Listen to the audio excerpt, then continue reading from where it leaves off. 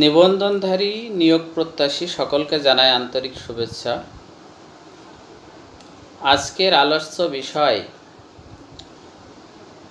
শিক্ষকতা পেশাটা কি?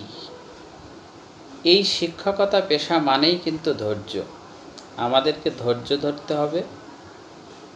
কেননা, মিষ্টতা, তিক্ততা, হতাশা, ধৈর্য গৌরবের অপর নাম হলো শিক্ষকতা। একজন শিক্ষক হিসেবে যখন আপনি কোনো প্রতিষ্ঠানে যোগদান করবেন, আপনার শিক্ষকতা যে চাদর, এটা যখন আপনার গায়ে আপনি জড়াবেন, তখন কিন্তু অবশ্যই আপনার ভিতরে আমূল পরিবর্তন আসবে। আপনাকে ধৈর্য ধরতে হবে, সহনশীল হতে হবে। এগুলো আপনাকে মেনে নিতে হবে।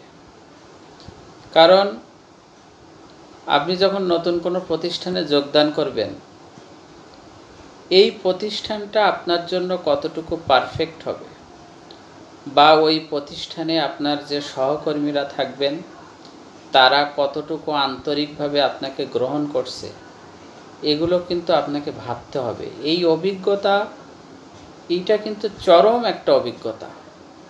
আপনি যখন নতুন কোনো প্রতিষ্ঠানে যোগদান করবেন, ওই প্রতিষ্ঠানের পরিচালক, ম্যানেজিং কমিটির সদস্যরা বা আপনার সহকর্মী যারা থাকবে, তারা কতটুকু আন্তরিকভাবে আপনাকে গ্রহণ করছে বা আপনার সাথে কতটুকু আন্তরিক ব্যবহার করছে এইটা কিন্তু ভাবতে হবে।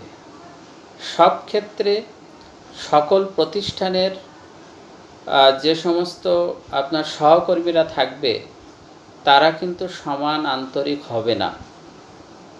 অনেকেই আছে, আপনাকে চাপে রাখার চেষ্টা করবে। যেটা আমরা যখন কোনো ইউনিভার্সিটি বা কলেজে যখন যাই, তখন আমরা দেখি যে আমাদের সিনিয়র যারা থাকে, তারা কিন্তু জুনিয়রদের উপরে যেমন একটা প্রেশার রাখে, এখানেও কিন্তু এরকম হয় এই শিক্ষা প্রতিষ্ঠানে। আপনি একজন শিক্ষক হিসেবে যখন নতুন কোনো প্রতিষ্ঠানে যোগদান করবেন, বিভিন্নভাবে আপনাকে মানসিক একটা চাপের ভিতরে রাখবে। আপনি নতুন সেখানে যোগদানের পরে না পারবেন আপনি কিছু বলতে, নীরবে নিবৃতে বিচারের বাণী আপনার ভিতরে ঢুকলে ঢুকলে কাঁদবে। এখন কি ধরনের সমস্যা সৃষ্টি হতে পারে? এই প্রতিষ্ঠানে যোগদানের পরে। স্কুলের উদাহরণ দিয়ে বলি যে যখন আপনি কোনো স্কুলে সুপারিশপ্রাপ্ত হবেন, অবশ্যই সেখানে আপনি যোগদান করবেন। এখন যোগদানের পরে, এর আগের একটা ভিডিওয়ে আমি আপনাদের বলেছি যে, সেখানে আপনার কাছে কিছু ডোনেশান এক্সপেক্ট করতে পারে। এই ডোনেশান এসপেক্টটা ওখানে আমি একটা শব্দ ব্যবহার করেছিলাম ইনডিরেক্টলি ইনডিরেক্টলি কেমন? যেহেতু এখন সরকারি বিধিনিষেধ আছে যে এই ধরনের অর্থ লেনদেন করা যাবে না, সেক্ষেত্রে আপনাকে কিন্তু বিভিন্নভাবে এই ডোনেশনটা নেওয়ার জন্য আপনাকে বলা হবে। কেমনভাবে? যেমন স্কুলের উন্নয়ন কল্পে, স্কুলের ফান্ডে কিছু দিতে বলবে। এই ধরনের কথা বলা বলা হবে আপনাকে এবং আপনাকে বিভিন্ন উদাহরণ দেওয়া হবে। যেহেতু আপনি এনটিআরসি এর মাধ্যমে যোগদান করছেন, এখানে কিন্তু আপনাকে সেই পূর্বের নয়, অর্থাৎ ম্যানেজিং কমিটি যখন ছিল, সেখানে যেমন লাখ লাখ টাকা খরচ করে একটা জব পেত, এখানে কিন্তু আপনার সেই পরিমাণ খরচ হয়নি। এই ধরনের উদাহরণ আপনাকে দেবে। এই একটা মানসিক হ্যারাসমেন্ট এখানে মনে করেন আপনি অবশ্যই হয়তো দিতে চাইতে পারেন, নাও দিতে চাইতে পারেন। এখন যখনই আপনার মতামতটা তাদের কাছে, তাদের মনের মতো হবে না, তখন কিন্তু আপনার প্রতি একটা বিরূপ মনোভাব তাদের আসবে। আপনার প্রতি বিভিন্নভাবে তারা কিন্তু একটা চাপ সৃষ্টি করবে। এইটা আপনি যখন প্রতিষ্ঠানে যোগদান করবেন, তখন নিজেই উপলব্ধি করতে পারবেন। এবার প্রতিষ্ঠানে মনে করেন বিভিন্ন প্রাতিষ্ঠানিক কাজ থাকে। যে কাজগুলো অনেক সময় শিক্ষকরাই করে থাকে। দেখা যাচ্ছে সেই কাজের বোঝাটা আপনার উপরে বেশি পড়ে গেল। আবার এমনও হয় যখন একটা স্কুল শুরু হয়, ঠিক ফার্স্ট ক্লাসটা আপনার থাকবে। আবার স্কুলটা যখন শেষ হবে, তার লাস্ট ক্লাসটাও আপনার থাকবে। আবার যে সমস্ত স্কুল মনে করেন নয়টা থেকে চারটা পর্যন্ত হয়, এই স্কুলগুলো অনেক সময় মাঝখানে বিরতি থাকে। দেখা যাচ্ছে টিফিনের আগের ক্লাসটাও আপনার থাকবে, পরের ক্লাসটাও আপনার থাকবে। তাহলে দেখুন, আপনাকে কতভাবে মানসিক একটা চাপের ভিতরে রাখছে, এখানে আপনাকে রিল্যাক্সে কিছু করতে দেবে না। আবার আপনাকে এমন কিছু ক্লাস নিতে বলা হবে এমন কিছু সাবজেক্ট নিতে বলা হবে, আর যেটা আপনি আনইজি ফিল করবেন। আপনার মান্থলি যে পেমেন্টটা আপনি পাবেন এইটাই যদি আপনার এলাকার কাছাকাছি প্রতিষ্ঠানটা হয়, তাহলে হয়তো আপনার কিছুটা বেনিফিট এখান থেকে আপনি পাবেন। কিন্তু আপনি যদি এক জেলা থেকে আর এক জেলায় বা আপনার জেলা থেকে দূরের কোনো জেলায় বা বিভাগে সেখানে যদি আপনি সুপারিশপ্রাপ্ত হন, তাহলে সেখানে আপনি যে বেতন পাবেন, এই বেতনে চলতে আপনার কিন্তু খুবই কষ্ট হবে। এইটা কিন্তু আপনার ভাবতে হবে। তার উপরে মনে করেন, অনেক সময় দেখাচ্ছে বিভিন্ন কারণে বেতন হতে দেরি হয়। এটাও যদি না হয়, আমি আমার অভিজ্ঞতা থেকে বলছি, দ্বিতীয় গণবিজ্ঞপ্তিতে আমি দেখেছি, অনেকেই তিন মাস, চার মাস বা ছয় মাস পরেও বেতন করতে পারেনি।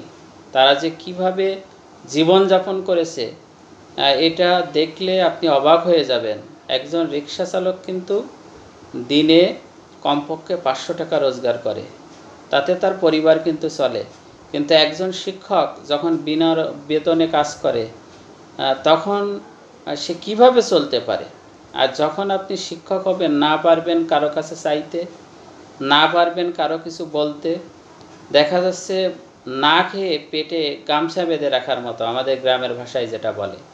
আপনি না খেয়ে পেটে গামছা বেঁধে রাখবেন, অর্থাৎ কষ্টটা নিজের মাঝে জমা করে রাখবেন। এভাবেই কিন্তু আপনার চলতে হবে। তাহলে একজন শিক্ষক হিসেবে আপনাকে কতটা ধৈর্য ধরতে হবে, এটা কিন্তু ভাবতে হবে। আবার তার উপরে যদি আপনার প্রতিষ্ঠানের সহকর্মী প্রতিষ্ঠান প্রধান আপনার উপরে যদি একটা মানসিক প্রেশার ক্রিয়েট রাখে, তাহলে সেখানেও আপনি কতটা অশান্তিতে থাকছেন। এই যে বিষয়গুলো, এগুলো কিন্তু নিজের ভিতরে এখনই উপলব্ধি করতে হবে এবং ভবিষ্যতে আপনার সাথেও যে এই ধরনের ঘটনা ঘটবে না, এইটা কিন্তু ভাবা ভুল এবং এগুলো মানসিকভাবে মেনে নিতে হবে এবং এই পরিস্থিতি মোকাবেলার যে মানসিকতা, সেটা কিন্তু নিজের ভিতরে সৃষ্টি করতে হবে। কারণ ত্যাগ শিকার, শিক্ষকতা মানেই হলো ত্যাগ শিকার। ত্যাগ শিকারের মাধ্যমেই কিন্তু একজন শিক্ষক। আর বর্তমান প্রেক্ষাপটে আপনারা নিজেরাই দেখছেন যে শিক্ষকরা বিভিন্নভাবে বা বিভিন্ন সুযোগ সুবিধা থেকে শিক্ষকরাই কিন্তু বঞ্চিত। দেখুন, একজন সরকারি কেরানি, সে যে সুযোগ সুবিধা পায়, একজন শিক্ষক, কিন্তু আর্থিকভাবে সেই সুযোগ সুবিধা কিন্তু গভর্নমেন্ট থেকে পাচ্ছে না। আজকে আপনারা দেখবেন, শিক্ষকরা তাদের বেতন ভাতা বৃদ্ধির জন্য, তাদের বাসা ভাড়ার বৃদ্ধির জন্য, তাদের উৎসব ভাতা বৃদ্ধির জন্য, চিকিৎসা ভাতা বৃদ্ধির জন্য শিক্ষকদের আজ আন্দোলন করতে হয়। আমরা এমন একটা পরিবেশ, পরিস্থিতি পৌঁছে গেছি। সুতরাং বুঝতেই পারছেন, শিক্ষকতা পেশা মানেই কিন্তু ধৈর্য। আপনাকে ধৈর্য ধরতে হবে। ধৈর্যের কোনো বিকল্প কিন্তু নেই। সুতরাং আপনাদের একটাই কথা বলব যে, আগামী কয়েকদিনের ভিতরে সকলের প্রত্যাশা, এটা চুয়ান্ন হাজার পরিবারের চা, এটা লক্ষ লক্ষ নিয়োগ প্রত্যাশীর চা যে কয়েকদিনের মধ্যে আমরা একটা সুখবর সবাই চাই, সবাই কামনা করি। এবং সাথে সাথে আমাদের বর্তমান যে পরিস্থিতি, সেটারও উন্নতি হোক। সকল মানুষ বা পৃথিবীর সকলে যাতে একটা মুক্ত পৃথিবী আবার ফিরে পাক, এটাও আমরা প্রত্যাশা করি। তো আজকের এই ভিডিও থেকে আশা করি ভবিষ্যতে আমাদের সাথে ঘটে যাওয়া কিছু পরিস্থিতি নিয়ে বা কিছু মোমেন্ট নিয়ে আমরা একটা ধারণা পেলাম। সুতরাং আমরা কোনো বিষয় নিয়ে বিচলিত না হয়ে ধৈর্য ধরব এবং সৃষ্টিকর্তাকে স্মরণ করব এবং একটা কথা মেনে নেব যে সৃষ্টিকর্তা যেটা আপনার জন্য করবেন সেটা আপনার মঙ্গলের জন্য করবেন। তো সকলে ভালো থাকেন, সুস্থ থাকেন। পরবর্তী ভিডিও দেখার আমন্ত্রণ জানিয়ে আমি আজকের ভিডিও এখানেই রাখছি।